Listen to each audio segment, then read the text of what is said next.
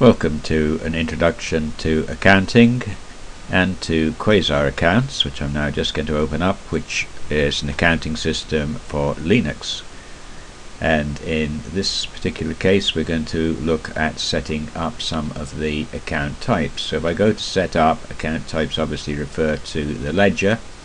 So I'm going to go across from ledger to account types and just open that and you can see here that what I've got is I've already set up some account types. Unlike many uh, accounting programs, many pieces of accounting software where you are presented with a default system of accounts, that doesn't happen in Quasar unless you want to copy details from one company to another.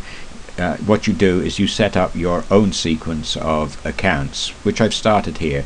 You can see that I've set up my asset accounts and I've called my asset accounts, I've divided them into types or groups if you like, fixed assets, inventory accounts receivable, current assets, and I've also set up my liability accounts, accounts payable, other current liabilities, long-term liabilities, and so on.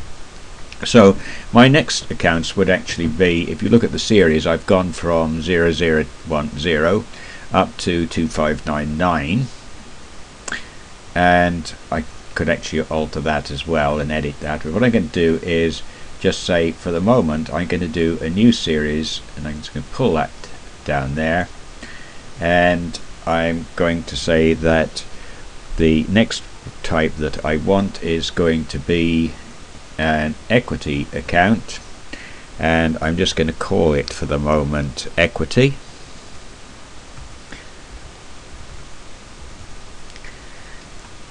I'm not going to give it a parent type but I'm going to say this one goes from the series of 3000 to 3500 so I would just make that easier and say it goes to 3499 that leaves us with the possibility of putting in another account type which are also equity accounts.